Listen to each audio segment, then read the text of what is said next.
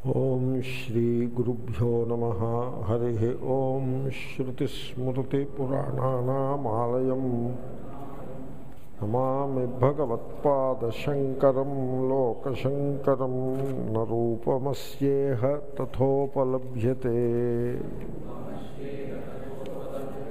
నాంతో నాదిర్న చ సంప్రతిష్టా అశ్వత్థమేనం సువిరూఢమూలం. అసంగశస్త్రేణ దృఢేన చిత్వా. సో నరూపమస్యేహ తథోపలభ్యతే. జగన్మిథ్యాత్వాన్ని గురించి కొంత విచారము చేసి ఉన్నాము.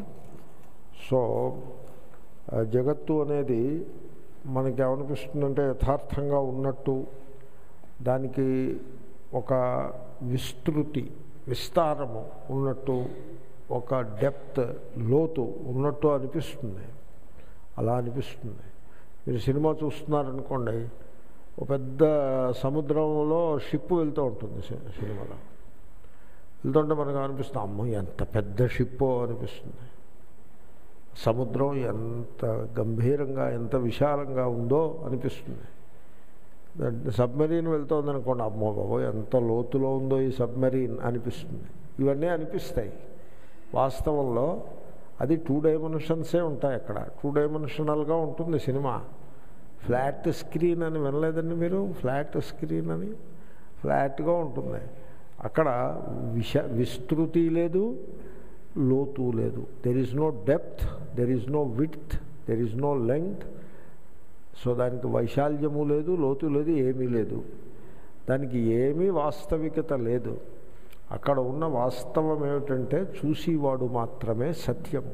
మొత్తం సినిమా దృష్టాంతంలో చూసేవాడు మాత్రమే సత్యము. చూడబడేది సర్వము ప్రతీతియే తప్ప ఉన్నది కాదు. ఈ జగత్ అలాంటిది. అక్కడంతా ప్రతీతి తప్ప ఉన్నది కాదు. బౌద్ధులు అన్నారు ప్రతీత్య సముత్పాద్యం అన్నారు. జగత్తు పుట్టిందన్నారు. ఎప్పుడు పుట్టింది? నీకు ఎప్పుడు కనపడిందో అప్పుడు పుట్టింది. సినిమా ఎప్పుడు పుడుతుంది? మీరు చూడడం ప్రారంభించినప్పుడు సినిమా పుడుతుంది. జగత్తు కూడా అంతే. అది యథార్థం కాదు. తర్వాత మీ హృదయం మీ మనస్సులో జగత్తు అనే భావన ఏది గలదో అదే జగత్ అంటే అంతకంటే వేరే జగత్తే ఉండదు. దీనికి మీకు ప్రూఫ్ కావ దృష్టాంతం కావాలంటే స్వప్నం. స్వప్నం ఎప్పుడు ప్రారంభమవుతుంది? స్వప్న జగత్ ఎప్పుడు ప్రారంభమవుతుంది? అంటే స్వప్న జగత్తు మీరు స్వప్నం చూడడం ప్రారంభించినప్పుడే స్వప్న జగత్తు ప్రారంభమవుతుంది. స్వప్న జగత్తుకి ఏజ్ ఉండదు. ఇప్పుడు మీరు స్వప్నంలో యాభై ఏళ్ళ వాడిని చూస్తారు. ఐదేళ్ళ పిల్లాడిని పిల్లాడిని చూస్తారు. స్వప్నం మొదలైంది. యాభై ఏళ్ళ పెద్ద ఆయన అరవై ఏళ్ళ పెద్ద ఆయన ఐదేళ్ళ పిల్లవాడిని తీసుకుని ఎక్కడికో వెళ్తున్నాడు స్వప్నంలో. ఇప్పుడు అరవై ఏళ్ళ పెద్ద ఆయన వయస్సు ఎంత? ఒక క్షణం. ఐదేళ్ళ కుర్రాడి వయస్సు ఎంత? ఒక క్షణం. రెండింటి వయస్సు ఒక క్షణమే. కానీ మీకు ఎలా అనిపిస్తుంది? వీడు అరవై ఏళ్ళవాడు వాడు ఐదేళ్ళవాడు అనిపిస్తుంది. స్వప్నం అలా ఉంటుంది. ఈ జగత్తు కూడా అంతే. ఇది ఎప్పుడు ప్రారంభమవుతుంది జగత్తు? ఉదయం మీరు నిద్ర లేచినప్పుడు ప్రారంభమవుతుంది. స్వప్నము వలె. మీరు నిద్రపోగానే అంతర్ధానం అయిపోతుంది. ఇది ఒక సంగతి గమనించదగ్గది. తర్వాత జాగ్రత్త అవస్థలో ఇది స్వప్న దృష్టాంతం అది. మీరు జాగ్రత్త అవస్థలోనే తెలివిగా ఉండి ధ్యానంలో కూర్చుని మనస్సుని నిశ్చలంగా పెట్టారనుకోండి. అంటే మనస్సు స్టిల్ కదలిక లేకుండా ఉందనుకోండి. ఏ కొద్దిసేపు అయినా అంటే అప్పుడు ఏమవుతుందో తెలుసునండి? మీకు జాగ్రత్త అవస్థ ఉండనే ఉండదు. జాగ్రత్త అవస్థ అంతర్ధానం అయిపోతుంది.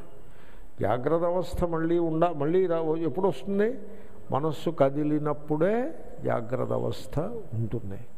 మనస్సు సుతరాము కదలకుండా నిశ్చలంగా ఉన్నప్పుడు జాగ్రత్త అవస్థ అనేది ఉండనే ఉండదు. ఏముంటుందో అది ఉంటుంది. జాగ్రత్త అవస్థ అయితే ఉండదు. దాన్ని బట్టి జాగ్రత్త అవస్థ అంటే ఏమిటని తేలింది మీకు? మనస్సు యొక్క చలనమే జాగ్రత్త అవస్థ అని నిర్ధారితమైనది కదా. జాగ్రత్త అవస్థలో అంతర్భాగంగానే జగత్తు ఉంటుంది. కాబట్టి మనస్సు కదిలినప్పుడు జగత్తు. మనస్సు కదలకపోతే జగత్తే లేదు. అంచేతనే స్వామి వివేకానంద ఆర్గ్యుమెంట్ చెప్పారు. ఆయన ఏమన్నారంటే నువ్వు జగత్తు జగత్తని గింజుకుంటూ గింజుకోవడం అంటే తెలుసు కదా? జగత్తు జగత్తని గింజుకుంటున్నావు అది సత్యమని గింజుకుంటున్నావు. Even you should accept. ఆయన ద్వైతిని ఉద్దేశించి అంటారు. Even you should accept. నువ్వు కూడా ఒప్పుకు తీరాలి. ఏమిటి ఒప్పుకు తీరాలి? ఇంద్రియములు మనస్సు పనిచేసినప్పుడు మాత్రమే జగత్తు యొక్క అనుభవము ఉంటుంది అని నువ్వు కూడా ఒప్పుకు తీరాలి. అంటే మేము ఒప్పుకోం. సరే ఒప్పుకోకపోతే వెళ్ళి ఎక్కడైనా కూర్చోండి వెళ్ళి. పిచ్చి కుదిరింది తలకి రోకలు చుట్టమన్నట్టు ఒకడు. ఒప్పుకోకపోతే ఏమైనట్టు అక్కడికి? ఒప్పుకోకపోతే మానే. బుద్ధిమంతుడు అయితే ఒప్పుకు తీరాలి. ఏమని? మనస్సు ఇంద్రియముల వ్యాపారము లేని సమయములో జగత్ అనేది లేదు అని అంగీకరించాలా అక్కర్లేదా? మీరు అది అంగీకరిస్తే జగత్ is relative to the mind and the sense organs అని తేలుతుంది. It is relative to the mind and sense organs. It is not absolute. యథా అబ్సల్యూట్ అంటే తనంత తానుగా యథార్థముగా ఉండి దానిని అబ్సల్యూట్ అంటారు. జగత్ అయితే అబ్సల్యూట్ కాదు. మనస్సు సెన్సార్గన్స్ ఉన్నప్పుడే జగత్తు ఉన్నది కాబట్టి దొందు దొందే మనస్సు సెన్సార్గన్స్ ఉంటే జగత్తుంది జగత్తు ఉన్నప్పుడు మనస్సు సెన్సార్గన్స్ ఉంటాయి. Both are relative to each other and both are equally unreal anyway so ఇదంతా ఊరికే మళ్ళీ ఇంకోసారి అలా గుర్తు చేయటం అలవాటు అంతే. వేదాంతులు అలాగే ఉంటారు. ఇంకోసారి అలా జగన్మిథ్యాత్వాన్ని ఒకసారి గుర్తు చేసినాము. ఈ జగత్ మిథ్య అనేటువంటి విషయాన్ని తెలుసుకుని మనం ఏం చేయాలి? ఈ సంసార వృక్షమును కూకటి విరేళ్ళతో సహా పెళ్ళగించి పారవేయవలెను. అంటే మరి దానికి ఒక ఆయుధం ఒక శస్త్రం ఒకటి ఉండాలి కదా అంటే అసంగ శస్త్రేణ దృఢేన చిత్వ. అసంగత అనే శస్త్రంతో ఈ సంసార వృక్షాన్ని మీరు దూరం చేసుకోవచ్చును. అసంగశాస్త్రం చాలా ఇంపార్టెంట్. అది అక్కడ ఆగి ఉన్నాం మనం. దాన్ని దాన్ని కంటిన్యూ చేస్తే చాలా విలువైన శ్లోకాన్ని ఒకదాన్ని పూర్తి చేసిన వాళ్ళం అవుతాము. సో శంకరులు అంటారు అసంగశస్త్రేణ. అదండి అసంగము అనే ఆయుధము.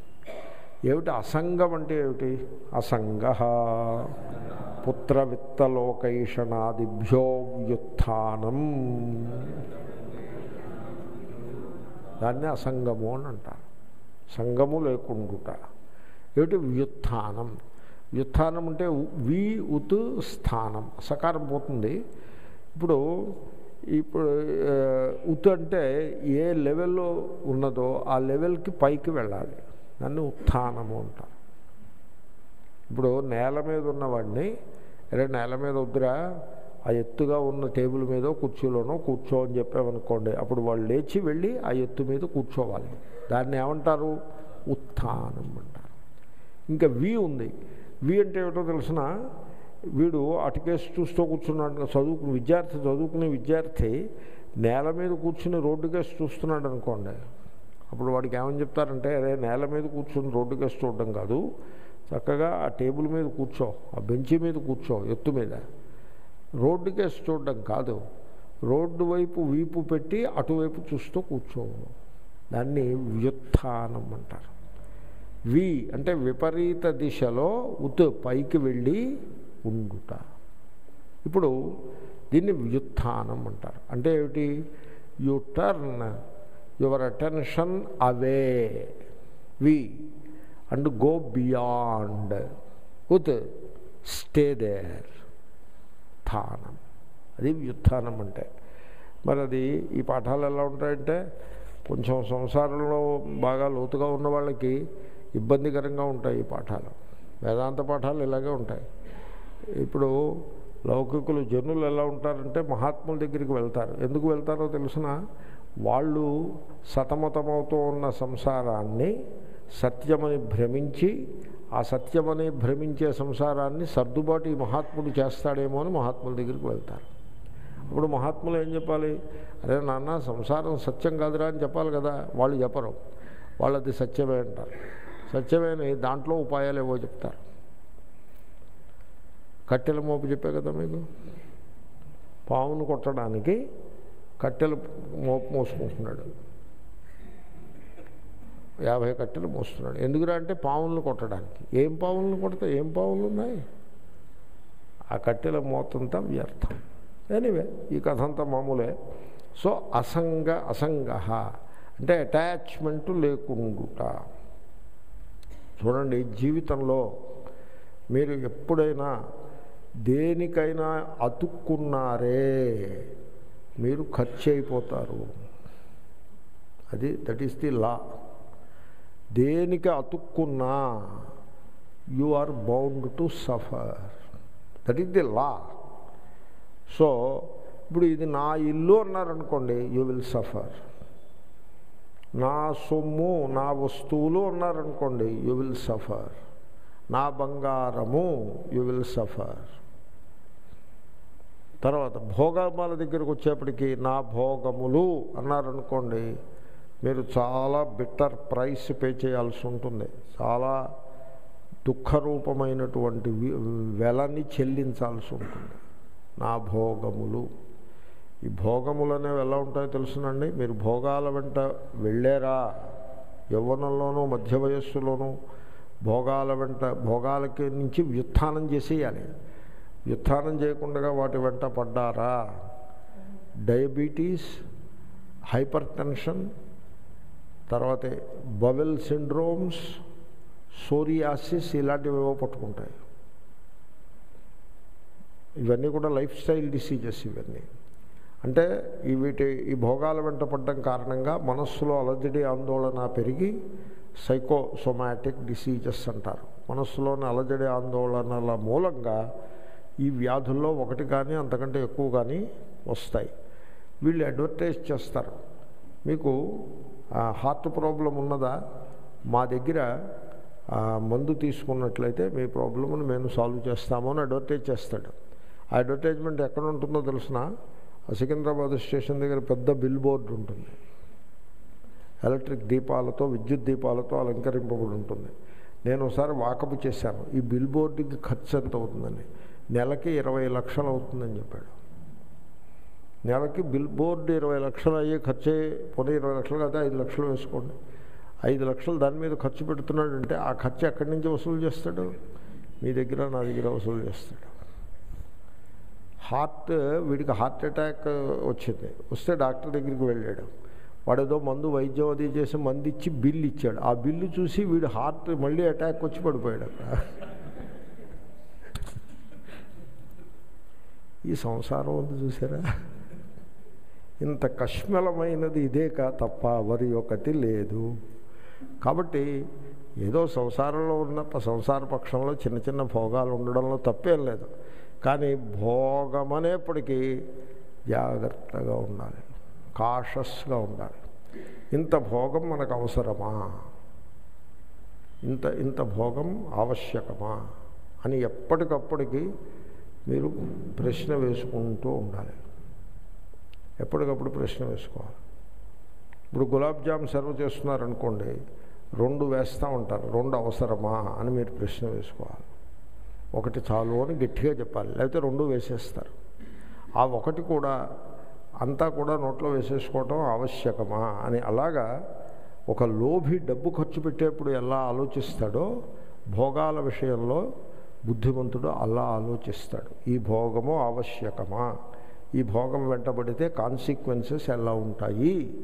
అని ఎప్పటికప్పుడు సరి చూసుకుంటూ ఆ మధ్య వయస్సులోను యవ్వనంలోనూ మధ్య వయస్సులోనూ కాషస్గా ఉన్నవాడు మాత్రమే వాడు గట్టెక్కగలుగుతాడు ఈ సంసారం అనే సముద్రాన్ని దాటగలుగుతాడు. భోగాల్లో పడ్డాడంటే వాడు ఖర్చు అయిపోతాడు. సంగము ఎక్కడి నుంచి వస్తుందో తెలుసునండి. సుఖేచ్ఛ నుంచి సంగము వస్తుంది. మీరు ఈ సంసారము నుండి సుఖమును సంపాదించాలని మీరు ఎప్పుడైతే ప్రయత్నం చేసినారో అప్పుడే సంగము ఆరంభమవుతుంది. ఆ సంగం అనే విషబీజము అక్కడ ఉన్నది. సంసారమునందు సుఖేచ్ఛ. మరి సంసార విషయంలో ఏముండాలి సుఖేచ్ఛ ఉండకపోతే ఏముండాలి? సంసారం విషయంలో డ్యూటీ బుద్ధి కర్తవ్య బుద్ధి తప్ప సుఖేచ్ఛ ఉండకూడదు. ఈ సంసారంలో మనం వీళ్ళతో వ్యవహరించేప్పుడు మన కర్తవ్యాన్ని మనం చెయ్యాలి. అనే ఇచ్ఛ ఉండాలి తప్ప సుఖేచ్ఛ ఉండకూడదు. ఇప్పుడు ఒక వస్తువు ఉందనుకోండి ఈ వస్తువుని సంపాదించి భద్రపరిచి దీన్ని ఈ విధంగా మెయింటైన్ చేయటం నా కర్తవ్యము. అందుకోసం దాన్ని మెయింటైన్ చేయాలి తప్ప ఈ వస్తువు నుంచి నేను సుఖమును కోరి దాన్ని మెయింటైన్ చేస్తున్నాను అంటే మీకు సంఘం ఏర్పడుతుంది. అలాగే వ్యక్తులతో వ్యవహరించేప్పుడు కూడా ఈ వ్యక్తుల ఎడల నా కర్తవ్యాన్ని నేను చెయ్యాలి నా డ్యూటీ నేను చేయాలి అనే బేసిస్ మీద మీరు వాళ్ళతో వ్యవహరించాలే తప్ప ఈ వ్యక్తి వల్ల నాకు ఈ భోగము లభిస్ లభించు లభిస్తుంది లభించాలి అని మీరు అనుకున్నారే పడిపోయారు గోతులో అంతే. దానివల్ల కలిగే దుఃఖము ఇంత అంత కాదు. సో కాబట్టి సుఖేచ్ఛ ఉండకూడదు. పుత్ర పుత్రేషణం చెప్పబోతున్నారు ఆయన. సంతానము. మనం సంతానము విషయంలో ఎలా ఉండాలంటే కర్తవ్య బుద్ధిని కలిగి ఉండాలి తప్ప సుఖేచ్ఛతో సంతానమును చూడనే రాదు. సుఖేచ్ఛ అంటే ఏమిటి? ఈ పుత్రుడు నాకేదో ఉపకారం చేస్తాడు. వీడు పెద్దవాడైన తర్వాత నాకు రెస్పెక్ట్ ఇస్తాడు. తల్లి తండ్రులు ఎలా ఉంటారో తెలిసిన పేరెంట్స్ పేరెంట్స్ జనరల్గా నేను చెప్తున్నా అందరూ నా అభిప్రాయం కాదు. ఎవరో పుణ్యాత్ములు కొంతమంది ఎక్సెప్షన్స్ ఉంటారు. మీరు పేరెంట్స్ తండ్రులు ప్రతి తండ్రి కూడా హర్ట్ అయిపోయి ఉంటాడు. కొడుకులు కూతుళ్ళ విషయంలో హర్ట్ అయి ఉంటాడు. తల్లి అలా ఉండదు. తల్లి హర్ట్ అవ్వదు. ఆవిడ శివుడు విషాన్ని మింగేసినట్టుగా ఈ హర్ట్నంతని కూడా డైజెస్ట్ చేసేసుకుంటుంది ఆవిడ. హర్ట్ అవ్వదు ఈగో ఉండదు తల్లికి. అంచేత ఆవిడ హర్ట్ అవ్వదు తండ్రికి ఈగో ఉంటుంది. వాడు హర్ట్ అయిపోతూ ఉంటాడు. కొడుకుతోటి ఫోన్ చేసేదే ఒకసారి నీతో మాట్లాడాలి రా అంటాడు. అంటే ఆగండి నాన్నగారు నేను బిజీగా ఉన్నాను అంటాడు. వాడు అనేప్పటికీ ఈయన హర్ట్ అయిపోతాడు అరే వీడిని నేను పెంచి పెద్ద చేశాను. వాడికి ఆ ఉద్యోగం కూడా నేనే ఏర్పాటు చేశాను. వాడు బీటెక్ చదువుతుంటే తల బదలు కొట్టుకుని ఫీజులు కట్టేవాడిని. ఇప్పుడు వాడు "ఆ, ఉండండి ఆగండి అంటున్నాడు అని చెప్పేసి వీడు హర్ట్ అయిపోతాడు. భయంకరంగా హర్ట్ అయిపోతూ ఉంటాడు. ఇమేజింగ్ చాలా చిత్రంగా తండ్రి అన్నవాడు ప్రతివాడు హర్ట్ అయిపోతూ ఉంటాడు. ఎందుకు హర్ట్ అయ్యాడంటే అది కొడుకు తప్పు అనుకుంటాడు వీడు. కొడుకు తప్పు కాదు. కొడుకు నుంచి నీవు అపేక్షించటం అనే దోషము నీ ఎందు గలదు. నీవు సంఘాన్ని చేసావు దానికి వెల చెల్లిస్తున్నావు. సంఘానికి వెల చెల్లిస్తున్నావు. మరైతే పుత్రుల విషయంలో ఎలా ఉండాలి? వీడిని పెంచి పెద్ద చేయటం నా యొక్క ధర్మము కర్తవ్యము. కన్నందుకు వీడిని పెంచి పెద్ద చేయటం నా ధర్మము కర్తవ్యము. ఆ ధర్మాన్ని ఆ కర్తవ్యాన్ని నిర్వర్తించేసి చేతులు కడిగేసుకోవటమే. మానసికంగా సన్యాసి అయిపోవాలి. వేషం సన్యాసి వేషం వేయకపోయినా పర్వాలేదు. మానసికంగా సన్యాసి అయిపోవాలి దాన్ని వ్యుత్థానము అంటారు. దేని నుంచి వ్యుత్థానం చేయాలి అంటే సంఘము ఉన్న ప్రతి చోట వ్యుత్థానం చేయాల్సి ఉంటుంది. అదే లెవెల్లో దానికేసే చూస్తూ కూర్చుంటే సంఘము. దాని లెవెల్ పైకి వెళ్ళిపోయి దానివైపు అభి దానికి విరుద్ధంగా విరుద్ధ దిశలో చూడడం ప్రారంభిస్తే అది వ్యుత్థానం. ఇప్పుడు డబ్బు ఉందనుకోండి డబ్బు లెవెల్లో కూర్చుని డబ్బు లెక్క పెట్టుకుంటూ డబ్బు కేసే ఆలోచించుకుంటూ డబ్బే చూసుకుంటూ కూర్చుంటే సంగము. డబ్బు ఆలోచన నుంచి పైకి వెళ్ళిపోయి ధనము ఎడల ఏ రకమైనటువంటి లోభము లేకుండగా ధనము యొక్క దృష్టి లేకుండగా ఇంకోవైపు చూస్తూ ఉండడం అనే పని చేసినట్లయితే దాన్ని వ్యుత్థానము. ధనవం దృష్టాంతం చెప్పా. నిజానికి ఆయన పుత్రతో ప్రారంభించారు శంకరుడు సో కాతే కాంత కస్తే పుత్ర సంసారోయమతీవ విచిత్ర అన్నారు. అంటే అర్థం ఏంటి? ఒక స్త్రీని ఈమె నా భార్య అని ముద్ర వేసి అని ఒక ఇమేజ్ పెట్టడం ఒక ఒక ముద్ర వేయటం అంటే ఒక ఒక ఫిక్సేషన్లో పెట్టడం ఆ మనిషిని. ఈమె నా భార్య అని ముద్ర వేయటం. ముద్ర వేసేప్పటికి ఏమవుతుంది? కొంత పురుషాధికారం ఉన్న సందర్భంలో భార్య ఒదిగి మదిగి ఉండాలి తర్వాత మతం ఎలా ఉంటుంది? అది పురుషులకి ఫేవరబుల్గా స్త్రీలకు అన్ఫేవరబుల్గా ఉంటుంది మతం. కాబట్టి ఆ మత దృష్టి గట్టిగా ఉందనుకోండి నీ గాయత్రి మంత్రం పనికిరాదు నేను గాయత్రి జపం చేస్తే సగం నీకు వస్తుందిలే అంటాడు వీడు. అంత కాండెసెండింగ్ యాటిట్యూడ్ అంటారు ఇంగ్లీష్లో దీన్ని. అది కరెక్ట్ అయితే అవ్వచ్చు కాక నీకు అక్కర్లేదు గాయత్రి మంత్రం. నువ్వు వెళ్ళి కాఫీ పెట్టి వంటలు వండుకో. నేను గాయత్రి చేస్తున్నా కదా దాంట్లో సగం నీకు వస్తుందిలే అంటాడు. అని ఏదో శ్లోకం చెప్తాడు. వచ్చిరాని శ్లోకం ఒకటి చెప్తాడు. కింభో శ్లోకా ప్రమాణం. శ్లోకం చెప్తే పని అయిపోయింది అనుకుంటున్నావురా? శ్లోకం నాది తాతకి దగ్గులు నేర్పే ప్రయత్నం చేయొద్దు శ్లోకాలు చెప్ప కాబట్టి ఇగో ఇలా ఉంటుంది. ఈ రకంగా ఆమెని డామినేట్ చేయటం. ఆమె నా చెప్పిన మాట వినాలి అని అనుకోవడం. దీన్ని సంగము అంటారు. ఆమె కొంచెం ఇటు అటు చూసి వీళ్ళ దగ్గర వాళ్ళ దగ్గర కొంచెం నేర్చుకుని అయింది డామినేషన్ చేసినంతకాలం చేశారు. ఇంక ఊరుకోండి అనుకోండి వీడు లోపల బాయిల్ అయిపోతాడు వీడు. How how long can you do? వాళ్ళు కూడా టీవీలు సినిమాలు చూస్తూ ఉంటారు. వాతావరణంలో మార్పు వచ్చేసిందనే సంగతి వాళ్ళకు కూడా తెలిసిపోతుంది. ఈ డామినేషన్ని సహించరు. సహించకపోయేప్పటికీ వీడు బెంగ పెట్టుకుంటాడు. శంకర్లు అన్నారు డోంట్ డూ దట్ మిస్టేక్ కాతే కాంత ఒక హ్యూమన్ బీయింగ్ని పట్టుకుని ఒక ముద్ర వేసి ఒక పేరు పెట్టి డామినేట్ చేసే ప్రయత్నం చేయటం తప్పు. You give her equal respect and treat her with dignity and sense of duty don't you ever try to dominate learn to love అని చెప్తారు. కథే కాంతాండంలో అభిప్రాయం అది. కస్తే పుత్ర. ఈ పుత్రుడు గురించి ఇది సందర్భం ఇది. ఈ సందర్భంలో చెప్పకపోతే ఇంకెప్పుడు చెప్తాం? పుత్రుడి విషయంలో వ్యుత్థానం ఎలా ఉంటుంది? ఆయన పుత్రశుద్ధం నేను చెప్పి వ్యుత్థానం చెప్తున్నారు కదా. ఎలా ఉంటుంది? చాలా ఇంపార్టెంట్ టాపిక్ ఎందుకంటే నో సంసారం మనకి తెలియంది కాదు అనుభవపూర్వకమైనటువంటి విజ్ఞానం ఇది. కాబట్టి పుత్రుడు పుత్రుడు అంటే పుత్రిక ఇంక్లూడెడ్ సంస్కృతంలో ఏకశేష సమాసం అని ఉంటుంది. పుత్ర అంటే పుత్రిక పుత్రిక చ పుత్రశ్చ పుత్రవు అని ఉంటుంది సమాసం. ఏకశేష సమాసం ఉంటుంది. అంటే సంతానము అని అర్థం చెప్పాలి మీరు. కాబట్టి సంతానం విషయంలో ఎలా ఉండాలో తెలుసునండి. అంటే మరి నేను శాస్త్రం యొక్క దృష్టికోణాన్ని మీకు చెప్తున్నాను. మీరు ఆ దృష్టికోణానికి రావడంలో క్లేశము ఉన్నమాట వాస్తవం. ఇప్పుడు నిచ్చెన ఎక్కాలంటే కష్టం కాదు. నిచ్చెన ఎక్కాలంటే శ్రమపడాలి. కిందకి జారాలంటే ఏం శ్రమపడాలి? అలా చక్కగా జారిపోతారు. నిచ్చెన ఎక్కాలంటే శ్రమపడాలి. కాబట్టి ఆ శాస్త్రము యొక్క విషన్ని అది మనం స్వంతం చేసుకోగలిగితే అది ఫ్రీడమ్ వచ్చేస్తుంది గొప్ప ఫ్రీడమ్. ఇప్పుడు నా కొడుకు నా కూతురు అనేవాళ్ళు ఎవళ్ళు లేరు. కస్తే పుత్ర.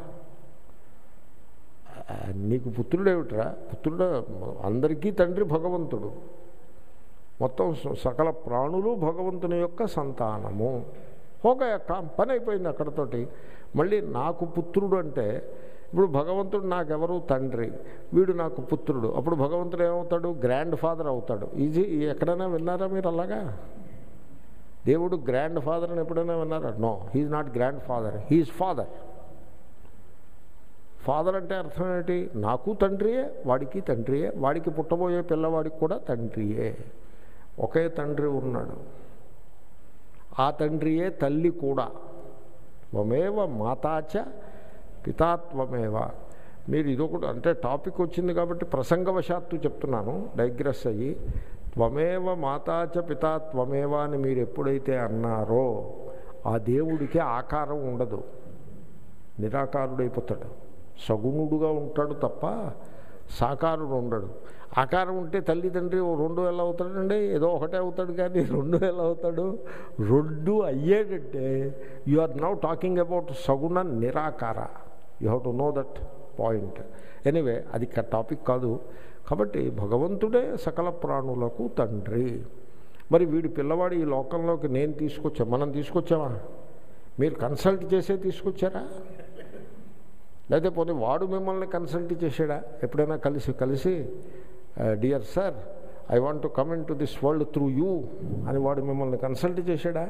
పోనీ మీరేమైనా కన్సల్ట్ చేశారా? ఎరా నేను ఓ పిల్లాడిని కన్నాలనుకుంటున్నాను రా పోనీ నువ్వు నా కొడుకు కింద పుడతావా అని ఏమైనా మీరు కన్సల్ట్ చేశారా? లేదు. From your point it is all a coincidence chance it is a design from the point of view of the higher power higher power దృష్ట్యా డిజైన్ తప్ప మీ దృష్టిలో డిజైన్ ఏమీ లేదు. మీ దృష్టిలో ఇట్ ఈస్ మియర్ ఛాన్స్ కాబట్టి కొడుకు కూతురు అంటూ ఏమీ ఉండరు. మరి ఎవరు ఉంటారు ఈ లోకంలోకి వచ్చిన ప్రాణులు. ఎలా వచ్చారు ఈ లోకంలోకి? మన ద్వారా వచ్చారు.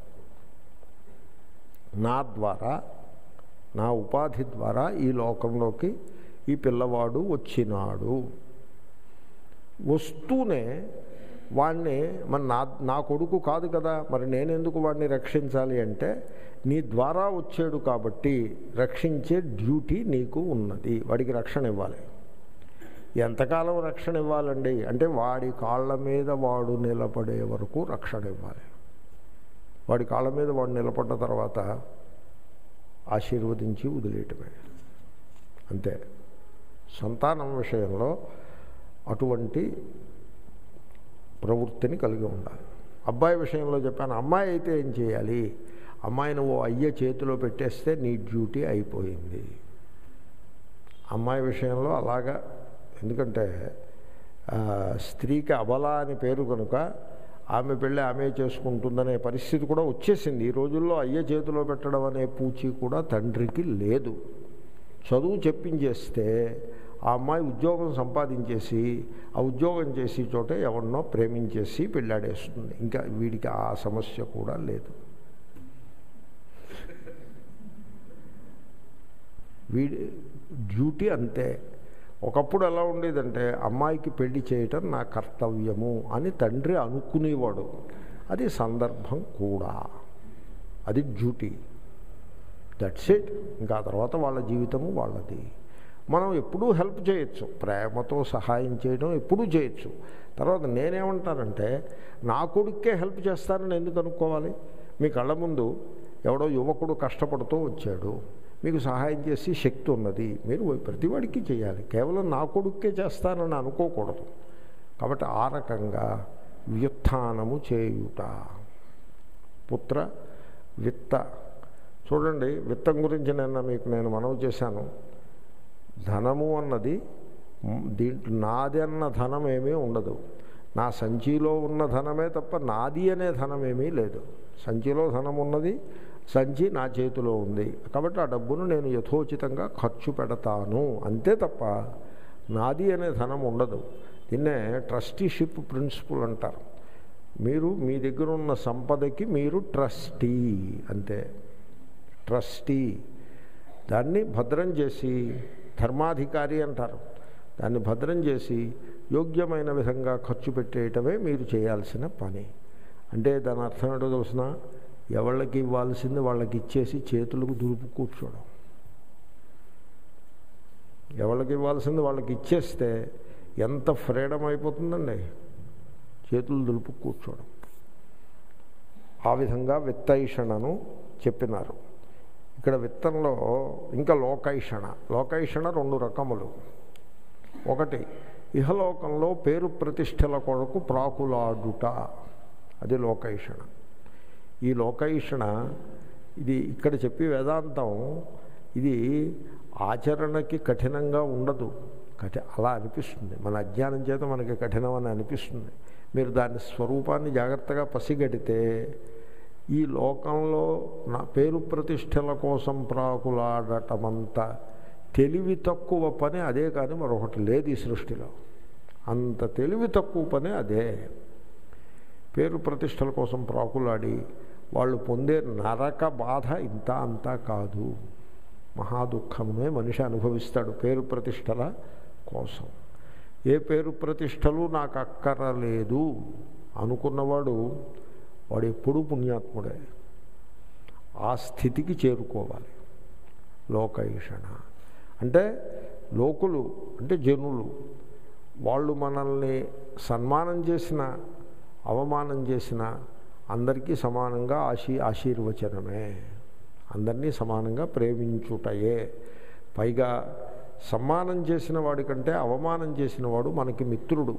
సమ్మానం చేసిన వాడు మనకు అహంకారం కలగటానికి హేతువైతే అవ్వచ్చు కానీ అవమానం చేసిన వాడు మనం నేల మీద నడిచేందుకు సహకరిస్తాడు. మనం అహంకారాన్ని పొందకుండగా మన మన బలహీనతల్ని మనం గుర్తుపట్టి మన హద్దుల్లో మనం ఉండడానికి సపోర్ట్ చేసేది ఎవడు? మనల్ని అవమానం చేసేవాడు మనల్ని తిట్టేవాడు. అప్పుడప్పుడు ఎవరైతే ఫోన్ చేసి తిడతారో వాళ్ళు మొట్టమొదట ఎన్నదగ్గ మిత్రులు. ఫోన్ చేసి పొగిడేవాళ్ళు దండాలు పెట్టేవాళ్ళు వాళ్ళు మిత్రులే. కానీ వాళ్ళకంటే కూడా ఎక్కువ మంచి మిత్రుడు ఎవరు ఫోన్ చేసి తిట్టేవాళ్ళు. ఫోన్ చేయగానే ఈ మధ్యన కాలర్ ఐడి అని ఒకటి వచ్చింది. ఒకప్పుడు ఉండేది కాదు. కాలర్ ఐడి ఓహో ఎవరు ఫోన్ చే ఓహో ఈయన తిట్టి వ్యక్తి ఫోన్ చే చెప్పండి అమ్మా ఏమిటి ఏమిటి ఆ తిట్లు ఏమిటో చెప్పేస్తే వినేసి ఆ అక్షంతలను ఎత్తి మీద వేసేస్తే పూజ చేసుకుని హ్యాపీగా ఉండొచ్చు. నిజంగా. సో ఆ రకంగా ఉండాలి. కాబట్టి ఎంత ఎక్కువ తిడితే అంత ఎక్కువ ఆశీర్వచనం అంత ఎక్కువ ప్రేమ. అలా ఉండాలి. యు ట్రై దిస్ ఏమైపోతుందో తెలుసునా మీకు? ఫ్రీడమ్ వచ్చేస్తుంది. యు బికమ్ ఫ్రీ అంచేతనే ఈ అసంగతలో ఉన్న ఫ్రీడమ్ని రుచి మీరు చూశారంటే మీరు ఇంకా సంఘం అన్నది ఎప్పుడు పెట్టుకోరు. అసంగతలో ఉన్న ఫ్రీడమ్ని మీరు రుచి మరగాలి. ఆ రుచిని మీరు గ్రహించాలి. సో సంఘం అన్నది మీరు ఎప్పుడూ పెట్టుకోరు. దీనికి కాళిదాసు దృష్టాంతం చెప్పాడు అభిజ్ఞాన శాకుంతలంలో. ఒకడు ఒళ్ళంతా ఆమదం రాసు కూర్చున్నాడు. ఇంకొకడు స్వచ్ఛంగా స్నానం చేసి ఉన్నాడు. ఆ ఆమదం రాసు కూర్చున్న వాడిని చూస్తే ఆ స్నానం చేసిన వాడికి ఎలా అనిపిస్తుంది? అమ్మో! ఎంత ఫ్రీ ఎంత ఫ్రీడమ్ ఫీల్ అవుతాడు? ఈ ఆమదం రాసు కూర్చున్నవాడు వీడు ఎలా ఫీల్ అవుతాడు? చాలా జిడ్డుగా చికాకుగా ఉండదు. వేసవికాలం అండి ఇక్కడ ట్రాపిక్స్ కదా. అలా స్వచ్ఛంగా స్నానం చేసి చక్కటి స్వచ్ఛమైన వస్త్రములను ధరించి శుద్ధిగా ఉన్న శుచిగా ఉన్నవాడు ఎలా ఫీల్ అవుతాడు? ఎంత ఫ్రీడమ్ ఉంటుంది ఫిజికల్గా ఈ ఈ అసంగత అట్టిది. కాబట్టి అసంగము అనేటువంటి ఆయుధాన్ని మీరు ఉపయోగించి ఈ సంసారాన్ని మీరు నెగ్గాల్సి ఉంటుంది. తర్వాత ఇంకో రహస్యం ఉంది దీంట్లో. మీరు ఎప్పుడైతే తక్కువ దానిని అంటే మిథ్యాతత్వమును విడిచిపెడతారో అప్పుడు మీకు సత్యం చేతికి చిక్కుతుంది. మీరు చిన్నదానిని పట్టుకుని వ్రేలాడుతుంటే పెద్దది మీరు మిస్ అయిపోతారు. చిన్నదానిని విదిలిపెట్టేస్తే పెద్దది మీకు దక్కుతుంది. కాబట్టి ఎప్పుడైతే మీరు పుత్ర విత్త లోక ఏషణ ఏషణ అంటే కోరికలు ఈ మూడింటికి చెందిన కోరికలు సంతానము భోగములు ధనములు అది విత్త. తర్వాత ఇహలోకము పరలోకము లోకైషణ గురించి చెప్తూ ఉన్నాను. పరలోకమునందు కూడా వ్యామోహాన్ని విడిచిపెట్టేయాలి. అది కూడా లోకేషణాత్యాగంలో ఉంటుంది. అంటే ఎలాగా? పర స్వర్గమును కోరి ఎవడు యజ్ఞం చేస్తున్నాడు అనుకోండి దాని పేరు లోకైషణ. స్వర్గమును కోరి యజ్ఞం చేస్తే లోకైషణ.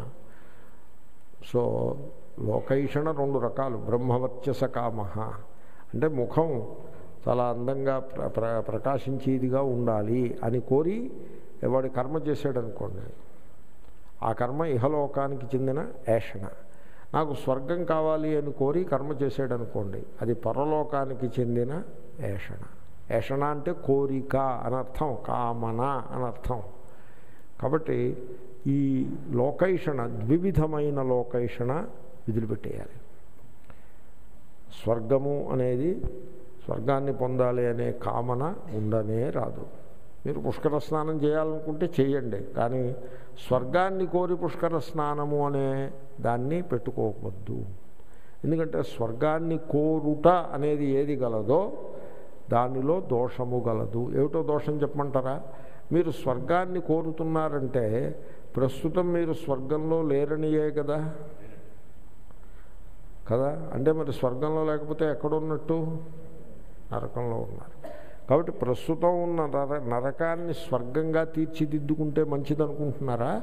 లేక చచ్చిపోయిన తర్వాత స్వర్గానికి వెళ్తే మంచిదనుకుంటున్నారా?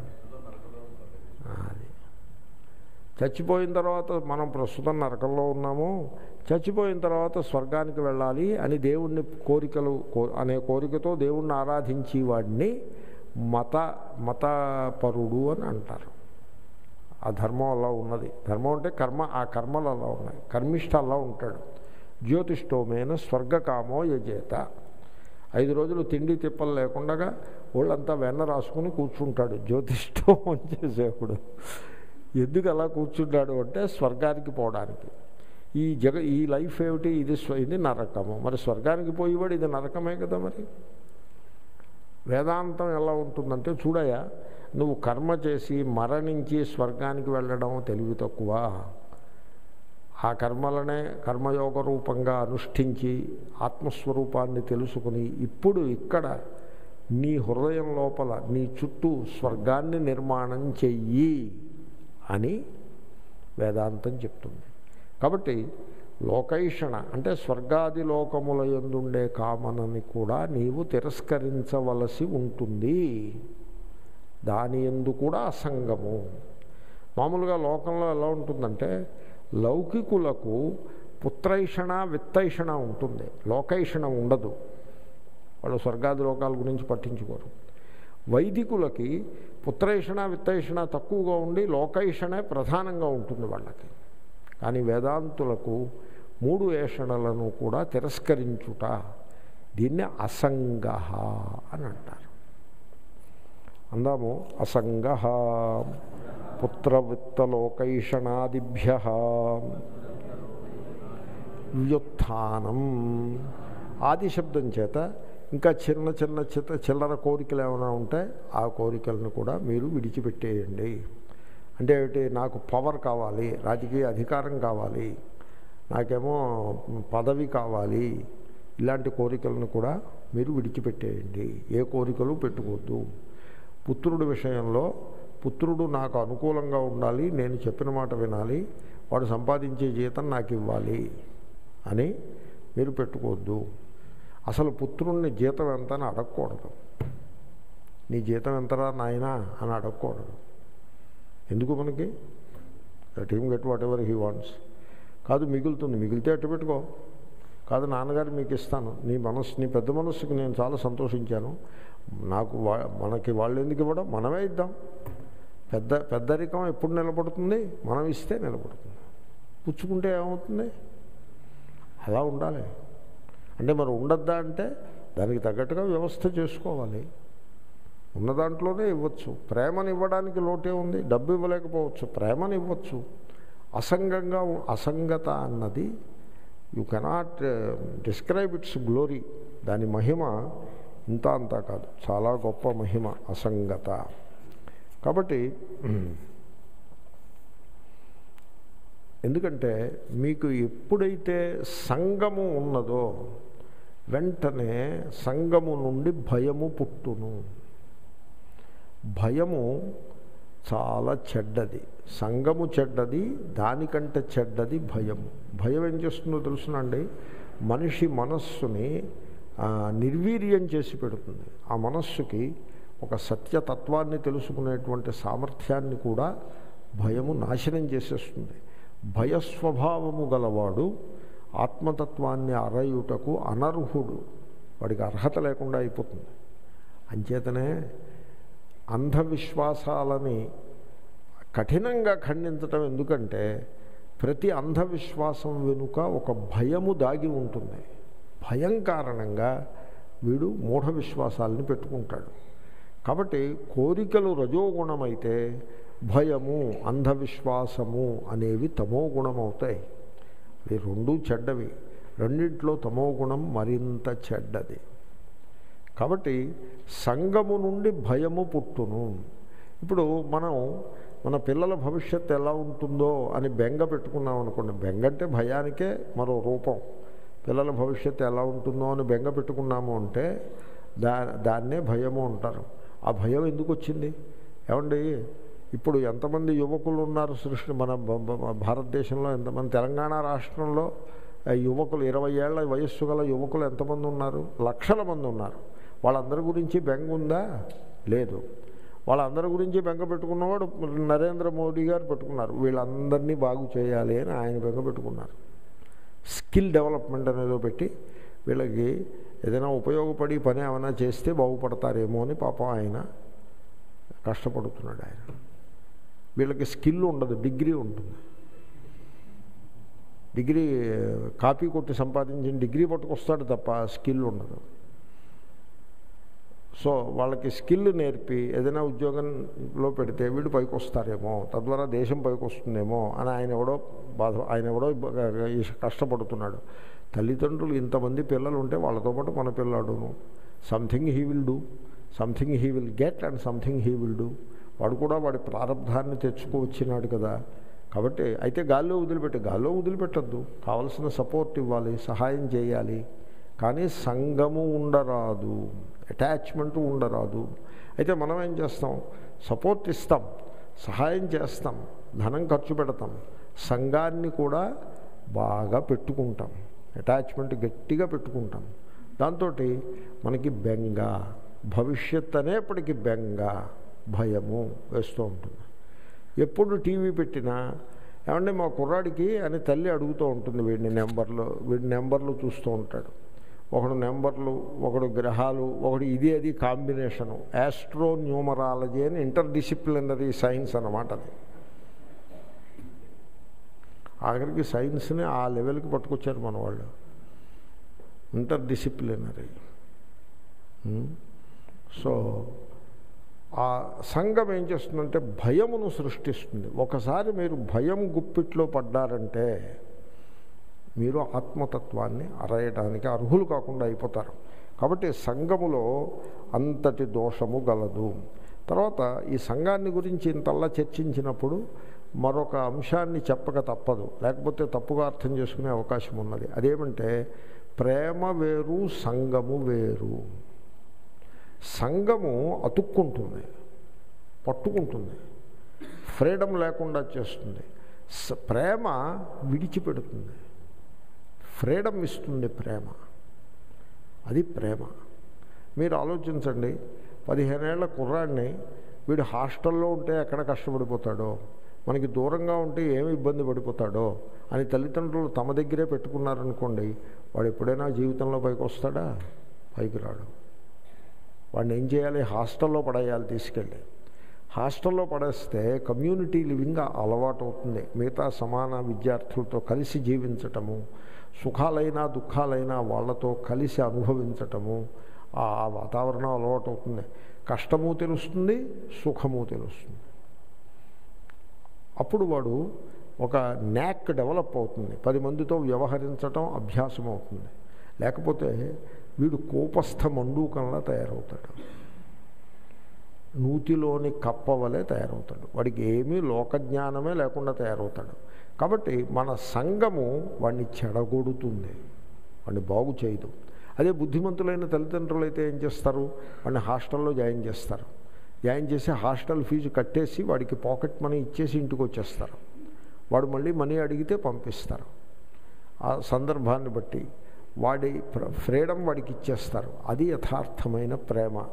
వాడిని పట్టుకుని నొక్కి పెట్టి అట్టే పెట్టడము సంగము కాబట్టి ఇప్పుడు నేను చెప్పేది మీరు ప్రేమించవద్దని నేను చెప్పట్లా. మీరు మీ పత్నిని ప్రేమించవద్దు మీ భర్తని ప్రేమించవద్దు అని నేను చెప్పట్లా. మీరు సంఘం పెట్టుకోవద్దు అంటున్నా. మీరు ప్రేమి ప్రేమించాలి. సంఘము ఉండరాదు. పుత్రులను పుత్రికలను ప్రేమించాలి. సంఘము ఉండరాదు. అసలు ఒక ప్రార్థన ఉన్నది. ఈ ప్రేయరు స్వామి రామకృష్ణ పరమహంస యొక్క ప్రేయరు. ఈ ప్రేయర్ని ఆయన రికమెండ్ చేశారు. ఈ సంఘానికి ఉపాయంగా రికమెండ్ చేశారు. ఎప్పుడైనా మీ పుత్రుడికి కానీ పుత్రిక లేకపోతే మీరు ప్రేమించేటువంటి బంధువు దగ్గర బంధువుకి నియర్ అండ్ డియర్ ఎవరికైనా కష్టం వస్తుంది అనే భయం మీకు ఉన్నట్లయితే మీరేం చేయాలి? ఈశ్వరుడికి ప్రే ప్రార్థన చేయాలి. ఈశ్వరుణ్ణి ఏకాంతంలో కూర్చుని భక్తితో ప్రేమతో ఈశ్వరుడికి ప్రార్థించాలి. ఓ ఈశ్వర ఈ వ్యక్తి నా కుటుంబం వాడు కాదు. నీ కుటుంబం వాడు. వాడు నీ కుటుంబానికి చెందినవాడు. నే నాకంటూ కుటుంబం ఏం లేదు. నేను కూడా నీ కుటుంబం వాడినే. ఈ జగత్తంతా నీ కుటుంబము. నేను నీ కుటుంబంలో వ్యక్తిని. నేను ప్రేమించే వీడు కూడా వీడు లేకపోతే ఈమె. ఈమె కూడా నీ కుటుంబం వ్యక్తులు. వాళ్ళు they belong to your family not my family. They belong to your family. It is your responsibility to uplift them not my responsibility నేను ఎక్కడ అప్పుడు ఇప్పుడు పది మంది చెరువులో మునిగి ఈత కొడుతున్నారనుకోండి దీంట్లో ఎవడు పైకి తీస్తాడు? ఎవడు ఎవడిని పైకి తీస్తాడు? గట్టు మీద ఉన్నవాడు ఎవడో వీళ్ళందరినీ పైకి తీయాల్సిన వాడు నేను కూడా సంసారంలోనే ఉన్నాను. నేను ప్రేమించే వ్యక్తులు కూడా సంసారంలోనే ఉన్నారు. వాళ్ళ యొక్క బాగోగులను నీవే రక్షించవలను. నేను నీకు శరణాగతి చేస్తున్నాను. వాళ్ళ బాధ్యతని నేను నీకు అప్పచెప్తున్నాను హే ఈశ్వర అని ప్రేయర్ చేయాలి. అలా ప్రార్థించాలి. అలా ప్రార్థించినట్లయితే మీకు మనస్సులో ఉన్నటువంటి సంగము తగ్గుతుంది దానివలన బెంగ భయము తగ్గుతాయి. మీరు అలా ప్రార్థించకుండా దేవాలయానికి వెళ్ళి ఓ పూజకి అష్టోత్తర శతనామ పూజకి ఒక టికెట్ కోసి పన్నెండు రూపాయల టికెట్ పెద్ద ఘనకార్యం. ఏమండి? ఆయన ఇలాంటి పన్నెండు రూపాయల టికెట్లు వెయ్యి అమ్మి ఒకే అష్టోత్తర శతనామ పూజ చేస్తాడు. యాభై గజాల స్థలంలో ముప్పై ఫ్లాట్లు కట్టినట్టుగా. దాంట్లో మీకు ఎన్ని గజాలు ఉంటుందంటే రెండు గజాలు ఉంటుంది. సో ఆ రకంగా అష్టోత్తర శతనామ పూజ ఏదో చేస్తాడు. దాంట్లో మీ పేరు మా పిల్లాడి పేరు కూడా చెప్పండి. అంటే సాకుటుంబానాం అన్నామండి అంటాడు వాడు. సాకుటుంబానాం అనకూడదు. సాకుటుంబస్య అనాలి. వీళ్ళు దాంట్లో విభక్తికి విభక్తి జ్ఞానం ఉండదు లేదని తెలుస్తూ ఉంటుంది. తర్వాత మా అమ్మాయి పేరు కూడా చెప్పండి. మా మనవడి పేరు కూడా చెప్పండి. ఏమైనా అకౌంటా ఇది? ఎందుకంటే వీళ్ళందరికీ క్షేమం కోసం నేను పూజ చేస్తున్నాను. అంటే ఇప్పుడు వాళ్ళందరి క్షేమం ఎవళ్ళ పూచి అయింది? ఈ పూజ చేసేవాడి పూచి అయింది. ఈశ్వరుడి పూచి కాదు. అప్పుడు ఈశ్వరుడు ఏం చేస్తాడు? సరే నువ్వే చూసుకో అని వదిలేస్తాడు. కాబట్టి ఈశ్వరుణ్ణి ప్రార్థించేప్పుడు నా కొడుక్కి ఫలానాది ఇయ్యి అని ప్రార్థించకూడదు. వాడు నా కొడుకు కాదయ్యా వాడు నీ కొడుకే. నేను నీ కొడుకునే వాడు నీ కొడుకే అందరూ నీ సంతానమే. వాడి క్షేమాన్ని చూసి మునగాడిని నేను కాదు నువ్వే. కాబట్టి నేను నిన్ను ప్రార్థిస్తున్నాను వాడి క్షేమాన్ని చూడు నువ్వే చూడు నా క్షేమం కూడా నువ్వే చూడు అని మీరు ఎప్పుడైతే ప్రార్థిస్తారో ఆ ప్రార్థన యొక్క బలం చేత సంఘం తగ్గుతుంది. సంఘం ఎప్పుడైతే తగ్గిందో భయం కూడా తొలగిపోతుంది. కాబట్టి ప్రేయర్ అన్నది అలా ఉండాలి. That is the prayer. Beautiful prayer. అది గాస్పెల్ ఆఫ్ శ్రీరామకృష్ణలో ఉంది. O God it is not my family it is all they are all your family you take care of them I surrender them unto you you know what is good for them you take care of what is good for them I'm free అని ప్రార్థన చేయాలి. బయటకు వచ్చి నేను ఇలా దేవుడికి ప్రార్థన చేశాను ఇంకా మీరు నన్ను ఏం అడగద్దు అనకూడదు. వాళ్ళకి ఇచ్చేది ఇస్తూ ఉండాలి చేసి సర్వీస్ చేస్తూ ఉండాలి. ప్రేయర్ మాత్రం ఇలా ఉండాలి. అలా చేసినట్లయితే సంఘదోషము పరిహరింపబడుతుంది. కాబట్టి అసంగత గురించి నేను చెప్పినప్పుడు మీరు ప్రేమకి విరుద్ధంగా మాట్లాడుతున్నాను అనే పొరపాటు మాత్రం మీరు చేయవద్దు. నిజానికి ఏ మేరకు మీరు అసంగతని సాధిస్తారో ఆ మేరకు మీకు ప్రేమ బాగా విస్తరిస్తుంది. నిజానికి వాస్తవంలో మనం బంధంలో సంసార బంధంలో ఉన్నాం. మన బంధము యొక్క స్వరూపం ఏమిటో తెలుసిన? సంగమే. అటాచ్మెంటే మన యొక్క బంధము. ఈ సంఘము మన ధైర్యాన్ని నాశనం చేసేస్తుంది. సో చూడండి మీరు ఆత్మస్వరూపాన్ని తెలుసుకోవాలి అంటే అంతరంగంలో ఒక పరిపక్వత ఉండాలి. అంతఃకరణము పరిపక్వముగా ఉండాలి. అప్పుడు మాత్రమే మీరు ఆత్మస్వరూపాన్ని తెలుసుకోగలుగుతారు. అంతఃకరణము యొక్క పరిపక్వత అంటే ఏమిటో తెలుసునండి ఎప్పుడు పరిపక్వత అనగానేమి? పండు ముగ్గినట్టుగా అంతఃకరణము పరిపక్వమగుట అనగానేమి అంటే the readiness to let go everything. అంటే ఈ ఈ సమస్యల పరిష్కారము భగవంతుడు చూస్తాడు. ఈ సంపదల యొక్క బరువు బాధ్యతలు భగవంతుడే చూస్తాడు. వాళ్ళ యొక్క గుణదోషములు భగవంతుడే చూస్తాడు. సర్వమును భగవంతుడే చూస్తాడు. I give up. అని ఆ రకంగా మానసికంగా సంగమును త్యాగము చేయుట ఏది గలదో అదియే అంతఃకరణము యొక్క పరిపక్వత. అది మరి అది ఎంత తేలిగ్గా వస్తుందో మీరు అభ్యాసం చేయాల్సి ఉంటుంది. ఇప్పుడు అంటే గివప్ అంటే ఏమిటి గివప్ ఏది విడిచిపెట్టాలన్నది మీరు జాగ్రత్తగా అర్థం చేసుకోవాలి. ఇప్పుడు మీ కుర్రాడు పరీక్ష రాస్తున్నాడు అనుకోండి ట్యూషన్ పెట్టారా? పెట్టాము. ఫీజు కట్టారా? కట్టాము. ఇంకా మీరు ఏదైనా పరీక్ష హాల్కి దగ్గరికి తీసుకువెళ్ళి దింపడము ఇలాంటి సర్వీస్ చేశారా? చేశాము.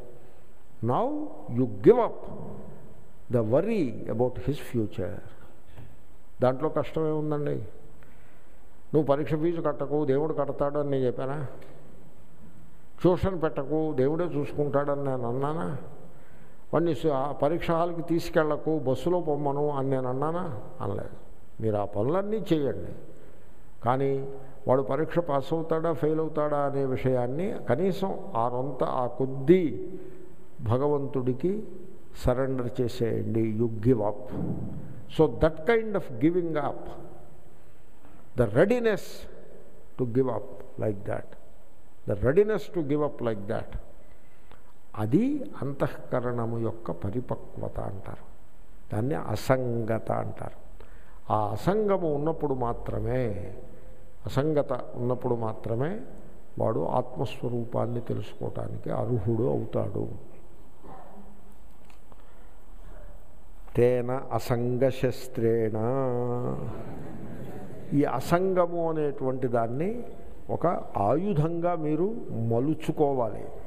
అసంగము అనేదాన్ని ఆయుధంగా మలుచుకోవాలి. ఇప్పుడు సపోజ్ కొడుకు చెప్పిన మాట వినలేదనుకోండి. కొడుకంటే పాతికేళ్ళ కొడుకు గురించి నేను మాట్లాడుతున్నాను. పదేళ్ళ పిల్లాడి గురించి చెప్పట్లేదు నేను పాఠం.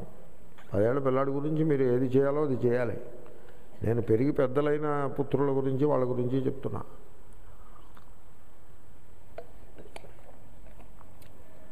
వాడు పాతికేళ్ళ కొడుకు ఉద్యోగం చేసుకుంటున్నాడు.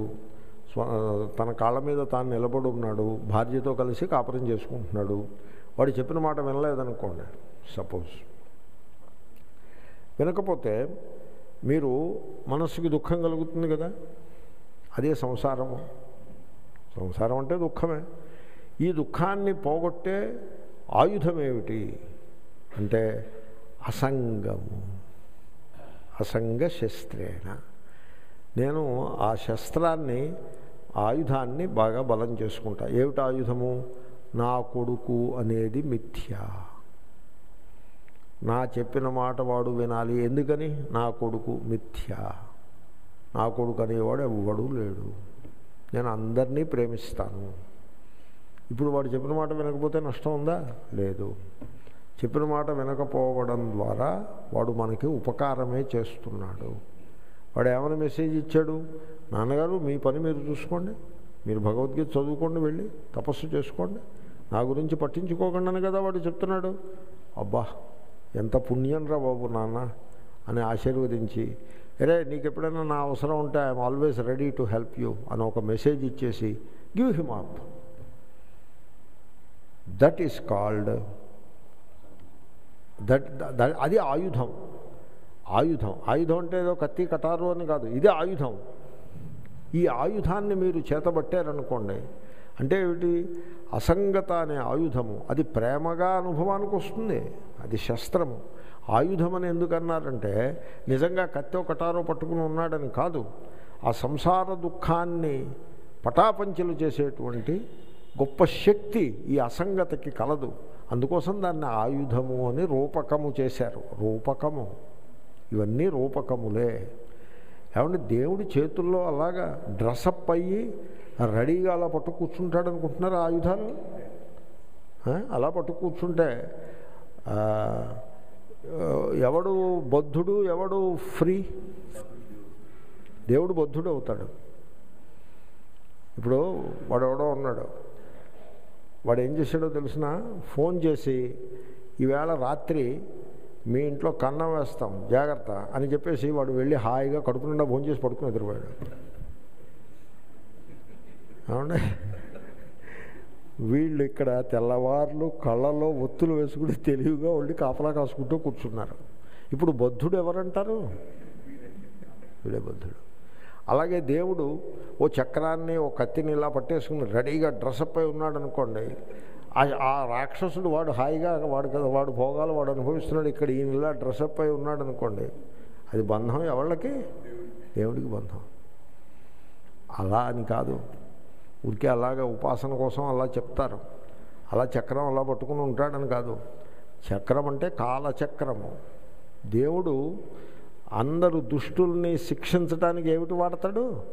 కాలచక్రాన్ని వాడతాడు. కాలచక్రం వేసి కొడతాడు. కొడితే వాడు శిక్షింపబడతాడు. కాలచక్రం వేసి కొడతాడు. మీకు దృష్టాంతాలు కనపడతాయి. కాలచక్రంతో వేసి కొట్టిన దెబ్బలు.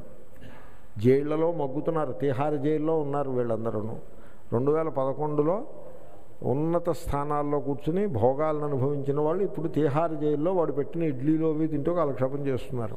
అంటే భగవంతుడు వాళ్ళని ఏం చేశాడు? కాలచక్రం వేసి కొట్టాడు. కాలచక్రంతో కొడతాడు.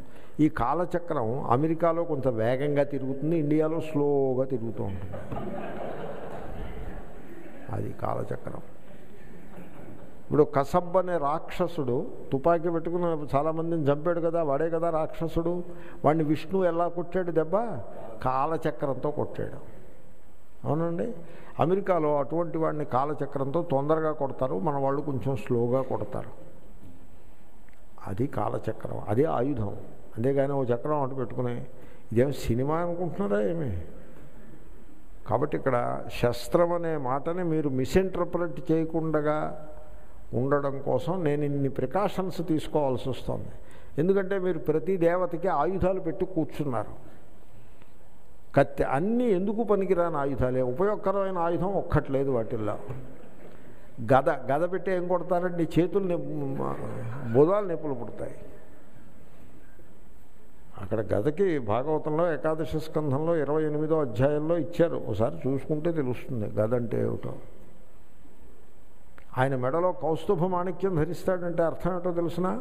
దేవుడు సపోజ్ ఒక జమ్ స్టోన్ కొనుక్కుని మెడలో వేసుకున్నాడంటే ఆయన సంసారి అంటారా విముక్తుడు అంటారా మీరు? సంసారి అవుతాడు.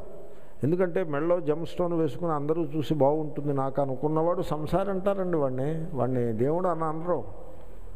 కౌస్తుభ మాణిక్యానికి ఏమిటో తెలిసిన? ఆత్మజ్యోతి అని చెప్పారు. భాగవతంలో ఆత్మ అనే వెలుగు ఏదైతే కలదో హృదయస్థానంలో ఆ వెలుగు ఆత్మ అనే వెలుగు దానికే కౌస్తుభ మాణిక్యము అని పేరు పెట్టారు. అలాగే ఇక్కడ ఏదో కత్తి పట్టుకుని భాగవ భగవద్గీతలో అసంగ శస్త్రేణ అని అలా రెడీగా కత్తి ఏదో పట్టుకుని ఉంటారనుకున్నారు. అసంగత అనేదే శస్త్రము ఆయుధము. సో ఇప్పుడు ఉదాహరణకి ఒకడు వచ్చాడు నా దగ్గరికి వచ్చి నన్ను చెడామడా తిట్టాడు. సపోజ్. నేను అన్నాను కూర్చోండి అలానే ఎంతసేపు నిలబడతారు కూర్చోండి మంచినీళ్ళు తాగుతారా? ఏ ఆయనకు ఒక కప్పు కాఫీ ఇవ్వాయా కాఫీ తాగా మీకు నేను చేయగలిగిన సేవ ఏమిటో చెప్పండి.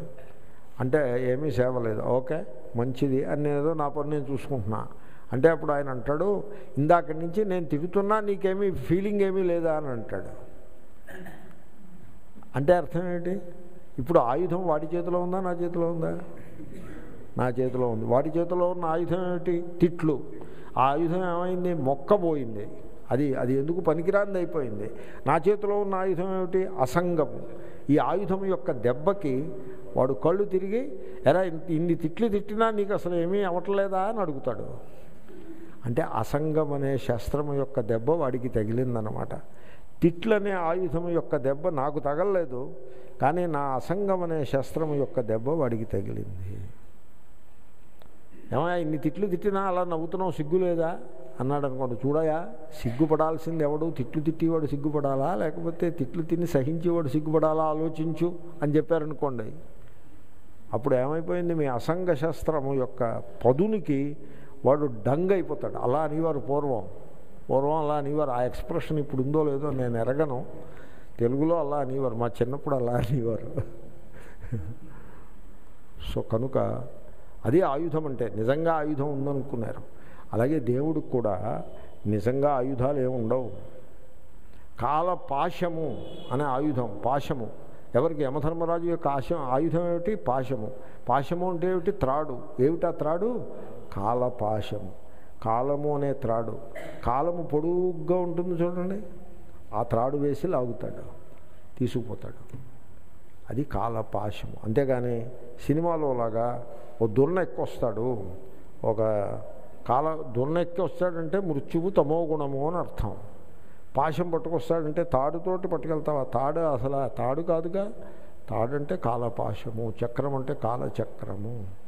అసంగమే శస్త్రము అసంగ శస్త్రేణ ఈ శస్త్రము కొంచెం దృఢంగా ఉండాలి.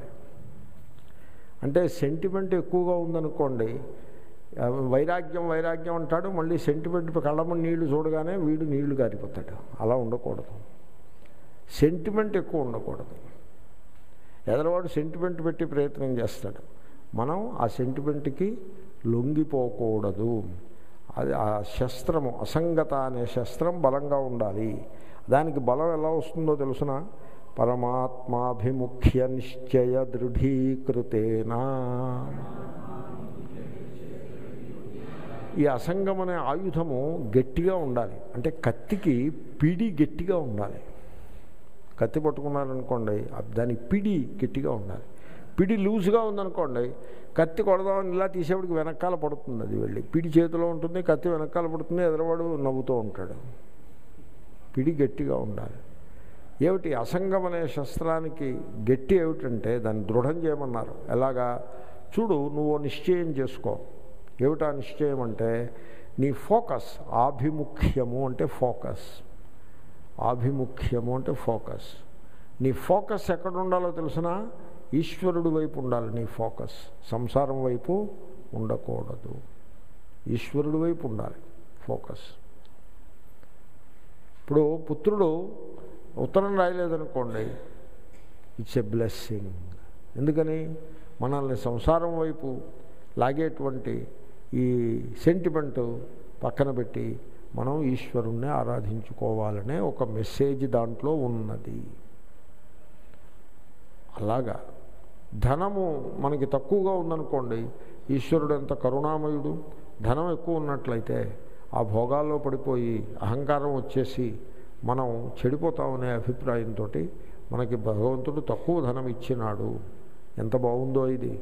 ఈ ధనాన్నంతని మూటకట్టి భద్రం చేసి దాన్ని ఖర్చు ఎలా చేయాలనేటువంటి బెంగ ఏమీ లేకుండగా ఫ్రీడమ్ వచ్చేసింది. నేను ఈశ్వరుని వైపు ధనం వైపు నుంచి చూపుని ఈశ్వరుని వైపు మళ్ళించి ఉంటాను. అనేప్పటికీ అసంగమైపోయింది అది ఆ ఆయుధం గట్టిపడింది. విత్త పుత్రుడు పుత్రికలు వాళ్ళ జీవితాలని వాళ్ళు గడుపుతూ ఉంటారు. వాళ్ళ ప్రారంధాన్ని వాళ్ళు తెచ్చుకుని వస్తారు. ఆ ప్రారంధాన్ని అనుభవించడం కోసం వస్తారు ఈ లోకంలోకి. మనం నా నా కొడుకు నా కొడుకని వీడు కంగారు పడుతున్నాడు కాబట్టి వాడు రాడు. వాడి ప్రారంధాన్ని వాడు తెచ్చుకుని వస్తాడు. వచ్చి ఆ ప్రారంధాన్ని అనుభవించి పోతాడు. మనము అంతే ఈ సృష్టి సృష్టి ఆది నుంచి అలాగే ఉంది. ఎవడు అట్టి పెట్టుకున్నది లేదు పట్టుకెళ్ళింది లేదు ఏమీ లేదు. కాబట్టి సో మనకి ఈశ్వరుని యొక్క భక్తియే యథార్థమైన సంపద. కాబట్టి ప్రతి సందర్భంలోనూ ఎదురు దెబ్బ తగిలిన ప్రతి సందర్భంలోనూ ఈ ఎదురు దెబ్బ యొక్క అభిప్రాయం ఏమంటే మనం సంఘం పెట్టుకోబట్టే మనకి దెబ్బ తగిలినది. అసంగముగా స్వీకరించి ఆ మెసేజ్ని తీసుకుని మనం ఈశ్వరుని వైపు భక్తిని చేయవలెను. భక్తిని చేయవలనంటే అక్కడి నుంచి హార్మోనియం పెట్టుకుని భజన చేస్తూ కూర్చోమని చెప్పారని మీరు అలా కాదు. ఇది భగవద్గీత పాఠం ఇది. భక్తి అంటే సంసారమునందు వై విరక్తియే భక్తి. అదే భక్తి. స్వస్వరూపానుసంధానం భక్తిరిత్యభిధీయతే. సో సినిమా తెర మీద ఉన్న వాటి మీద వ్యాఖ్యానం చేయడం మానేసి ఆ సినిమాను చూసేటువంటి ద్రష్ట యొక్క స్వరూపాన్ని తెలుసుకుంటే దాని పేరే భక్తి. తన స్వరూపాన్ని అనుసంధానం చేయటం. అనుసంధానం అంటే భావన చేయటం. అంటే శాస్త్రము యొక్క శ్రవణమనన నిధిధ్యాసనములే అనుసంధానము అనబడును. అది భక్తి అంటే. స్వస్వ అదే స్వస్వరూపానుసంధానం. అటువంటి భక్తి అనే అభిప్రాయం. లేకపోతే మీరు భేదబుద్ధితో ఉన్నప్పుడు కూడా శరణాగతి అనే భక్తిని చేయవలెను. అది భక్తి. అంటే ఎలాగా? నా భవిష్యత్తుని ఈశ్వరుడు టేక్ కేర్ చేస్తాడు. అందరి భవిష్యత్తుని ఈశ్వరుడే టేక్ కేర్ చేస్తాడు. కాబట్టి భవిష్యత్తు గురించి బెంగని విడిచిపెట్టుట భక్తి దట్ ఈస్ డివోషన్ నేను ఈశ్వరుడు ఏదిస్తే సుఖమిచ్చినా దుఃఖమునిచ్చినా ప్రసాదంగా స్వీకరిస్తాను. నాకంటూ ఎజెండా ఏమీ లేదు. ఈశ్వరుని ఆరాధించటమే తప్ప ఎజెండా ఏమీ లేదు. అది భక్తి. శరణాగతి చేస్తే భక్తి అది ప్రేమ. ఆ విధమైనటువంటి భక్తి మనం కలిగి ఉండి ఈశ్వరుని వైపు అభిముఖంగా ఉంటూ సంసారము వైపు పెడమోము పెట్టుటయే ఆ అసంగత అనే శస్త్రమునకు బలమును ఇచ్చుట. దృఢీకృతేన. ఇంకా ఏం చేయాలి? పునఃపున వివేకాభ్యాసాశ్మనిషితేన. దానికి పదును పెట్టమన్నారు. పిడి గట్టిగా ఉండడమే కాదు పదును కూడా ఉండాలి.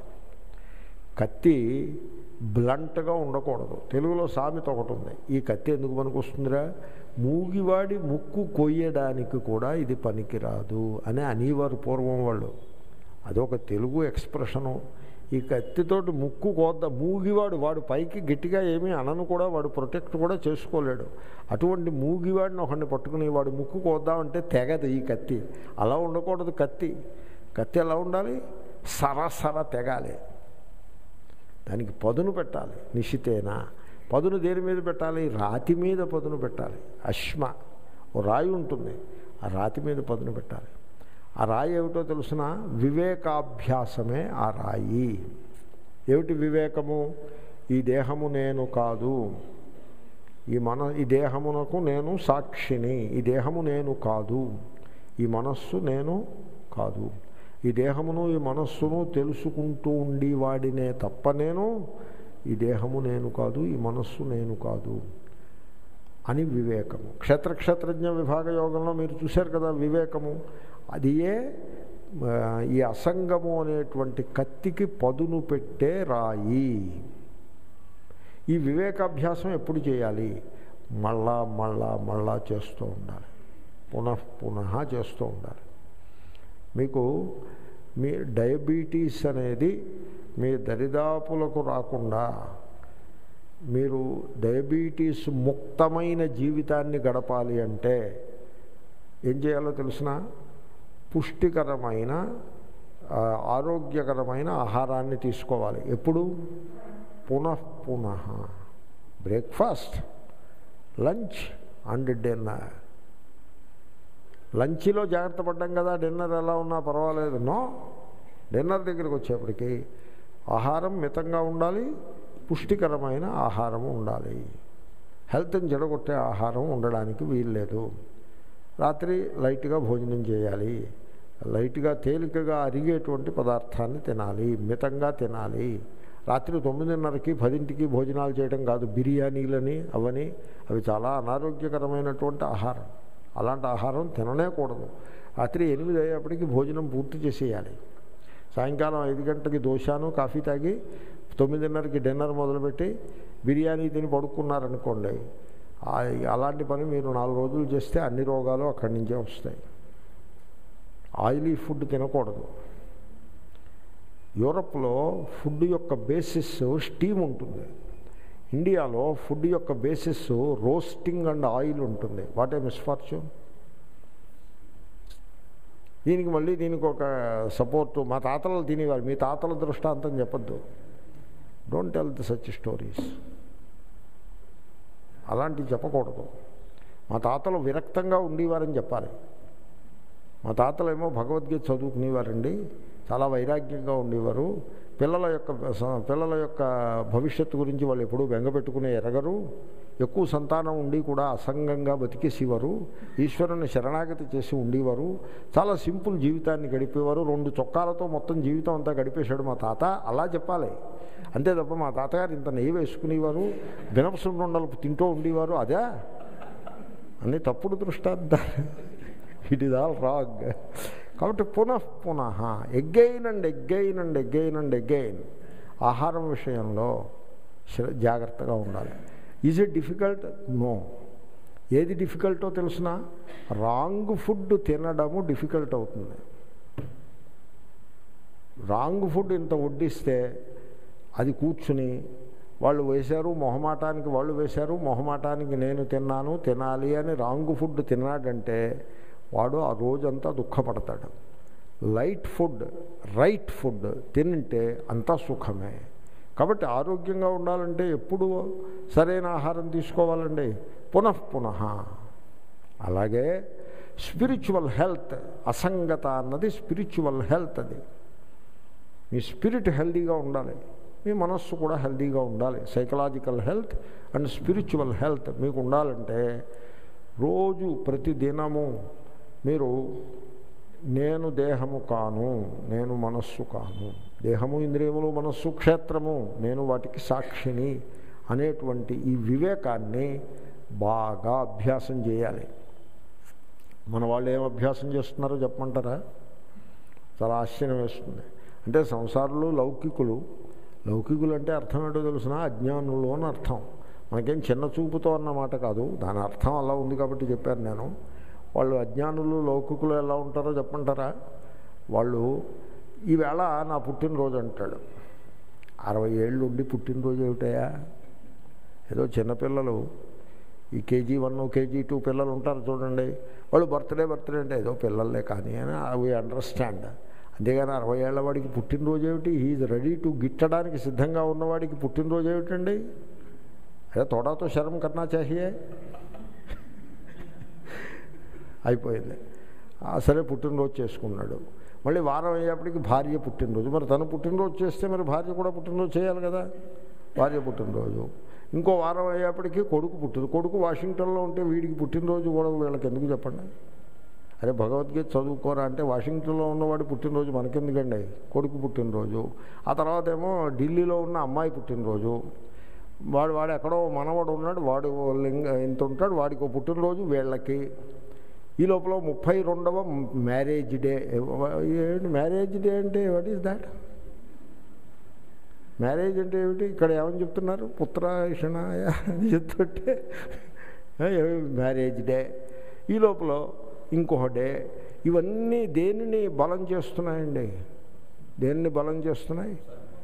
ఇవన్నీ నేను దేహము నేను మనస్సు నేను పుట్టాను నేను చచ్చిపోతాను అనే బలం చేస్తున్నాయా? దీన్ని దీన్ని ఏమంటారు? అవివేకాన్ని అంత బలంగా మీరు అభ్యాసం చేసి పెడితే ఈ అసంగత అనేది ఎక్కడి నుంచి వస్తుంది? ఆ సంసారం అనే సంగము అది ఊబిలాగా పట్టేస్తుంది వీడిని జిడ్డు పట్టినట్టుగా పట్టేస్తుంది. వదలదు కూడా వదలదు. అలా ఉండకూడదు. సన్యాసులు ఏం తక్కువ తినలేదు. వాళ్ళు అలాగే ఉన్నారు. ఈవేళ మాకు నా పుట్టినరోజు. పుట్టినరోజుకి వాళ్ళు ఏదో పేరు పెడతారు. జయంతి అంటారు. పుట్టినరోజు అని అనరు. ఈవేళ నా జయంతి రేపు మా గురువు గారి జయంతి మళ్ళీ వారం మా పరమ గురువు గారి జయంతి ఆ పై వారం పరమేష్ఠ గురువు గారి జయంతి ఈ లోపల శంకరాచార్యుల జయంతి. వీడి బతుకంతా జయంతులతోటే సరిపడింది. మళ్ళీ ఇంతట్లోకి సన్యాస జయంతి అంటే సన్యాసం పుచ్చుకున్న రోజు. ఏమంటే సన్యాసం పుచ్చుకున్న రోజు గుర్తుంటే పుట్టినరోజు ఎలా గుర్తుంది అసలు? సన్యాసం అంటే ఏమిటి? ఆ పర్సనాలిటీని వదిలిపెట్టేసి కొత్త పర్సనాలిటీని తీసుకున్నట్టు కదా అర్థం. కాబట్టి సన్యాస జయంతి గుర్తుంటే ఇంకా పుట్టినరోజు గుర్తుండడానికి వీర్లేదు పుట్టినరోజు గుర్తుంటే నువ్వు ఏమి సన్యసించినట్టు? దేనిని సన్యసించినట్టు? నేను తొత్తరమూడిలో రెండు వేల పంతొమ్మిది వందల యాభైలో పుట్టాను. అంటే వీడు ఏమి సన్యాసం తీసుకున్నట్టు తొత్తరమూడిని వదిలిపెట్టలేదు పంతొమ్మిది వందల యాభైని దేశాన్ని వదలలేదు కాలాన్ని వదలలేదు. దేన్ని సన్యసించినట్టు? అట్లీస్ట్ నేను ఫలానా తారీఖు నాడు సన్యాసం చేసి ఇచ్చాను సన్యసించాను. కాబట్టి నాకు ఆ తారీఖు పవిత్రమైనది. ఏదో ఏడిచాడు అనుకోవచ్చు. You can accommodate it to some extent ఇవన్నీ క్యాలెండర్ నిండా ఎన్ని ఉన్నాయంటే ట్వంటీ ఉన్నాయి. ఈ జయంతులే ఓ ఇరవై ఉన్నాయి వన్ మంత్లో. ఏ వాట్ ఈజ్ ఆల్ దాట్? అరే వివేకాన్ని వివేకమనే వివేకమును అభ్యసించుట అనే రాతి మీద ఆ అసంగత అనే కత్తికి పదును పెట్టరా అంటే ఇలా ఎందుకు చెప్పానంటే ఎప్పటికీ గృహస్థుల్ని ఆడిపోసుకోవడం కంటే అప్పుడప్పుడు సన్యాసులు కూడా చెప్తే పాయింట్ అర్థం అవుతుందని చెప్పాను వీఆర్ నాట్ ఎగ్నెస్ట్ గృహస్థాస్.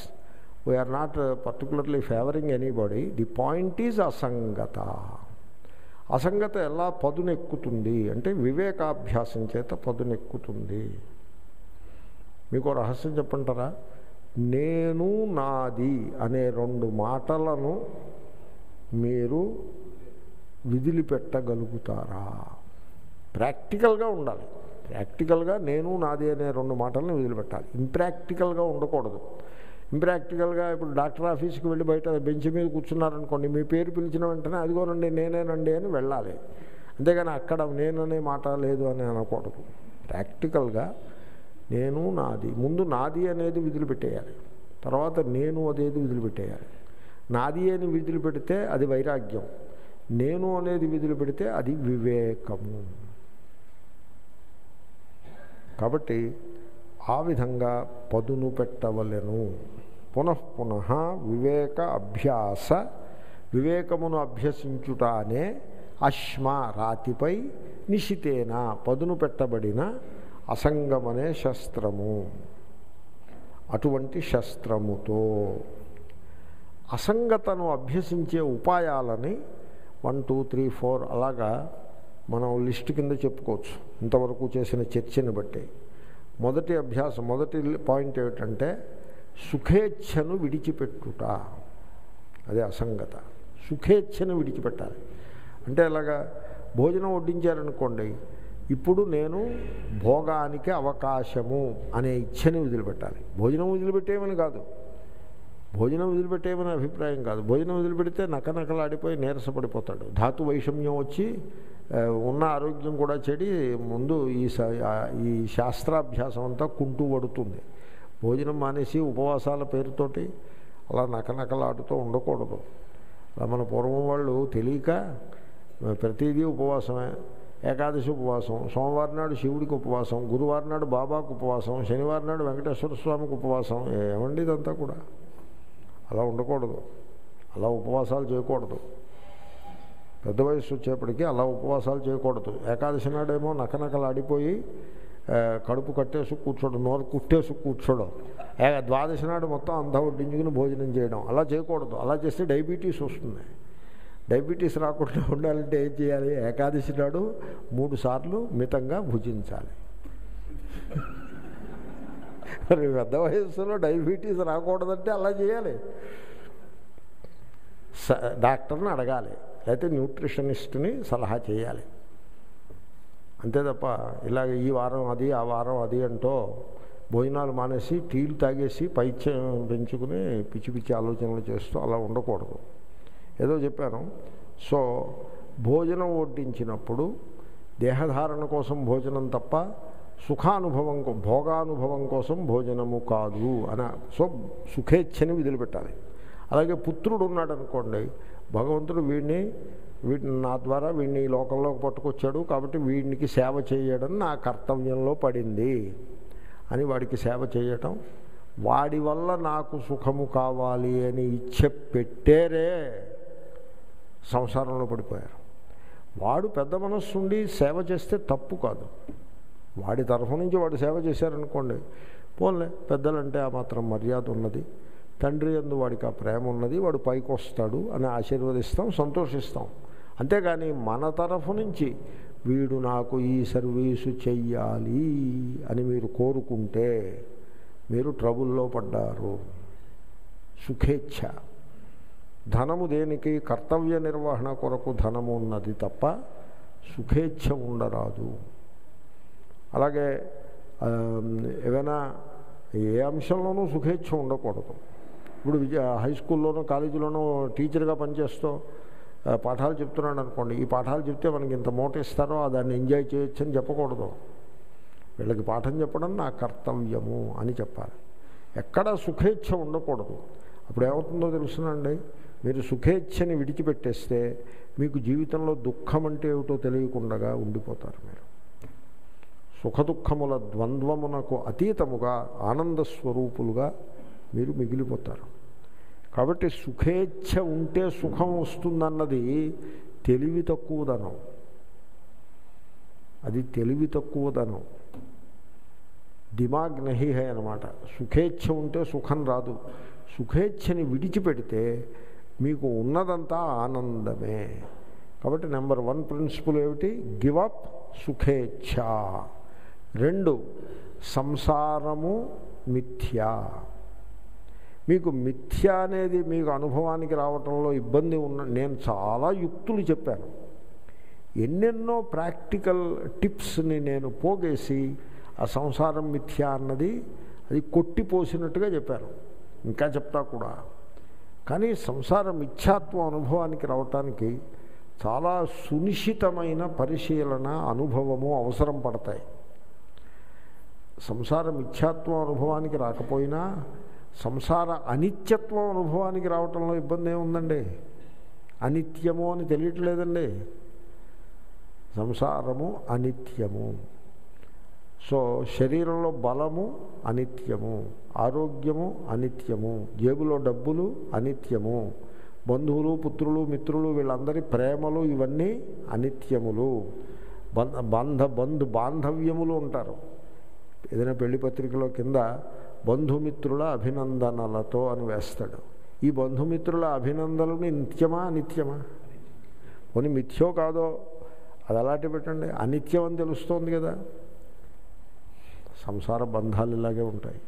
అంటే ఈ పైన పెళ్ళి పత్రికలు మార్చమని నా అభిప్రాయం కాదు. You should not take all that to be real ఏదో పెళ్ళి పత్రిక అలా వేస్తారు. బంధుమిత్ర పరివార కుటుంబ సమేతముగా అని కరెక్ట్గా నేను కరెక్ట్గా చెప్పాను. బంధుమిత్ర సపరివార సకుటుంబ సమేతముగా అంటే తప్పు అవుతుంది ఆ సాలన్నీ తప్పు. బంధుమిత్ర పరివార కుటుంబ సమేతముగా విచ్చేసి మమ్మలను ఆశీర్వదించి కృతార్థులను చేయ ప్రార్థన అని రాస్తారు. కాబట్టి అలా రాశారు కాబట్టి మీరు బంధువుల్ని మిత్రుల్ని పరివారాలని వేసుకు వెళ్తే వాళ్ళు వీధిలోకి పంపిస్తారు. ఊరికే అలా రాస్తారండి. అలా రాయాలి కాబట్టి రాస్తారు. అలా ఎందుకు రాశారంటే మీ బంధువులందరూ వచ్చేయాలని వాళ్ళ కోరిక ఏమీ కాదు. మేము ఆశీర్వదించడానికి వెళ్ళి వెళ్ళు నీ ఆశీర్వచనం నువ్వే పెట్టుకోవాలి చెప్తారు. వాళ్ళు అవే అడగరు. అలా ఎందుకు రాసినట్టు మరి అంటే అంతకుముందు పత్రికలో మోడల్ చూసి రాశారు. గతానుగతికో లోక. ఎవరైనా పోయినప్పుడు ఏడుస్తారు. ఎందుకని? అంతకుముందు పోయినప్పుడు ఏం చేశారు అందరూ అందు గురించి గతానుగతికో లోక ఎంతో కొంత దుఃఖం ఉండదని నేను అన్ను. ఎవరికో ఉండి వాళ్ళకు ఉంటుంది. పది మంది ఏడుస్తున్నారనుకోండి ఒకరికో ఇద్దరికో కొంత దుఃఖం కూడా ఉన్నమాట వాస్తవం. కానీ మిగతా వాళ్ళందరూ కూడా ఇది ఏడవాలి కాబోలని ఏడుస్తారు. అప్పుడు పక్కన పిల్లలు కూడా ఏడుస్తారు. ఆ పిల్లలు ఎందుకు ఏడుస్తున్నావురా? అంటే వాళ్ళు ఏమో చెప్తారు? ఏమో అమ్మా నాన్న ఏడుస్తున్నారని మేము ఏడుస్తున్నాం అంటారు. సంసారం అలా ఉంటుందండి. అంటే నా అభిప్రాయం ఏమిటంటే సంసారంలో మీకు ఏది కనబడుతోందో అది సత్యమని మీరు అంత అమాయకంగా ఉండకూడదు. కనపడేది సత్యం కాదు. ఉన్నది సత్యం తప్ప కనబడేది సత్యము కాదు. యదృశ్యం తన్నశ్యం. ఎనీవే కాబట్టి మిథ్యాత్వ నిశ్చయం మాట ఎలాగున్నా అనిత్యత్వ నిశ్చయము బాగా గట్టిపరుచుకోవాలి. చేతనైతే మిథ్యాత్వ నిశ్చయం కూడా చేయాలి. అనిత్యత్వ నిశ్చయానికి కొంత వైరాగ్యం ఉంటే సరిపడుతుంది. మిథ్యాత్వ నిశ్చయానికి లోతైన వివేకము సునిశ్చితమైన బుద్ధి అనుభవము అవసరమవుతాయి. ఇది రెండో ఉపాయం. మూడో ఉపాయం.